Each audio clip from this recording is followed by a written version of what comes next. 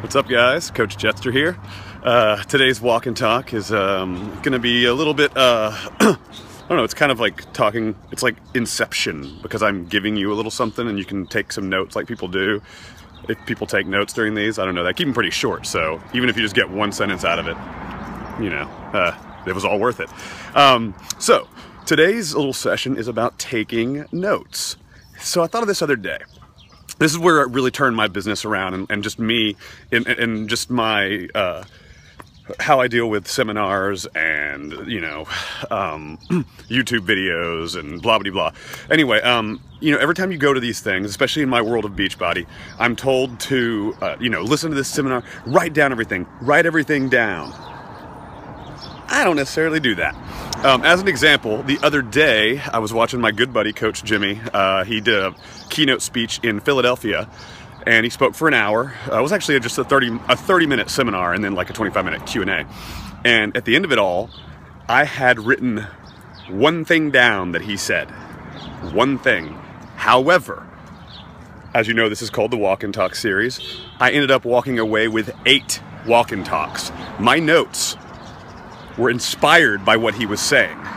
So, you know, don't just sit down and write down everything that these people say. Don't just write down everything I say. That, that's, that's not any, that's not doing you any good. You're not learning from that. That's like when you're in elementary school and they say, write down, I always hated this. Like in your science class, it was like, okay, do the 10 questions, but I want you to write the question and then write the answer. That's called busy work. Don't do busy work when you're taking notes because you'll never look at it again. But what happens is you end up with this paper filled with notes and you're like, look what I did. I accomplished so much. I can go to bed happy now because I worked hard today. That wasn't really an accomplishment. I mean, I guess it was an accomplishment. You got right, uh, you know, some calluses on your fingers from writing so much. Um, or do people even write anymore? I guess maybe taking notes on the phone. That being said, uh, you know, let my words be the springboard for you. If I say something and it reminds you of, of, of a friend or somebody that wants help or anything like that, think like write that down instead of what I said. Maybe write if I'm giving you information that's new information and you've never heard it before, then sure write that down. But think about what I'm saying and how it affects you directly. How can you implement what I'm giving you or anyone, any kind of notes? How do you use that in your life? How does it apply to you? Like I said, let my words be the springboard for your ideas and your thoughts. You don't have to write down what I say because I'm not you. You probably would say something differently you know, let it be your world. Let it be, it, it's, it's your journey. It's your health and fitness world.